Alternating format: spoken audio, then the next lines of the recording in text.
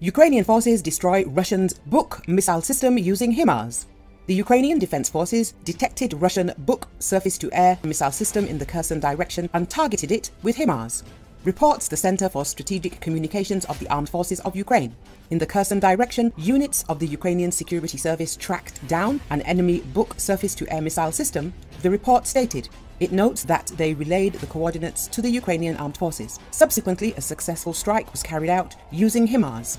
The Buk air defense missile system was developed to replace the previous Kub. Its industrial designation is 9K37. Its reporting name in the West is SA-11 or Gadfly. Development of this system commenced in 1972. It was a successor to the Kub M3. It entered service with the Soviet Army in 1980. The Buk has been exported to a number of countries.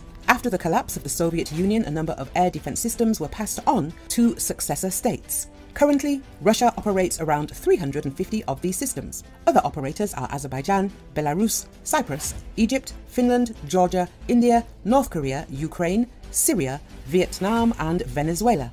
The air defense system can defeat maneuvering aircraft and helicopters flying at low or high altitude when the enemy uses electronic countermeasures. Newer versions of the Buk can also engage ballistic missiles, cruise missiles, anti-radiation missiles, smart bombs and unmanned aerial vehicles.